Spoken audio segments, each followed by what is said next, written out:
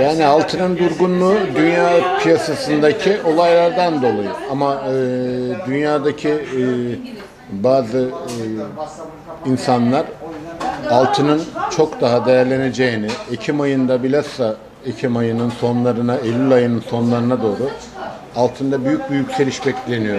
Yani 2500 civarlarında dönüyor.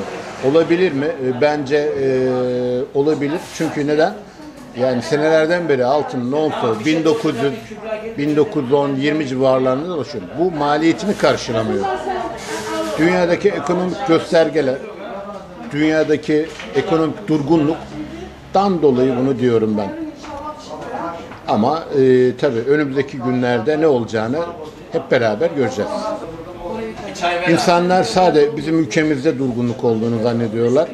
Avrupa'dan gelen, bilhassa Almanya, İngiltere gibi ülkelerden gelen vatandaşlarımıza sorduğumuzda oradaki durgunluğun daha çok olduğunu, e tabi bu da bizim iş potansiyelimize yansıyor.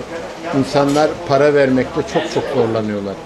Yani şükürler olsun iyi de ama e, yani beklentimizin altında oldu. Arap sezonu geçen seneye göre biraz daha düşük geçti.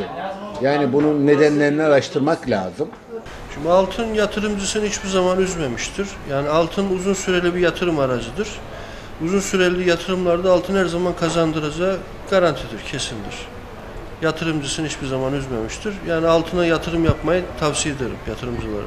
Piyasalardaki bir anormallik var tabii ki yani piyasa, piyasalar biraz çok iyi değil tabii ki. Tüm sektörler açısından baktığınız zaman yani altın yatırımcısını hiçbir zaman üzmez yani tavsiye ederim. Piyasa tabii yaz sezonu bittiği için, kış sezonuna girdiği için tüm piyasalarda biraz daralma olacaktır tabii ki. Biraz da bitti. Sezon yani fena değil, bir hareketlilik oldu tabii ki tüm sektörler açısından. Altın piyasası da iyiydi tabii ki. Düğünler de oldu. Önceki yıllara nazaran tabii ki piyasalarda düşüşler oldu tabii ki. Yani alım gücü düşünce insanların miktarlarda azaldı tabii ki otomatik olarak.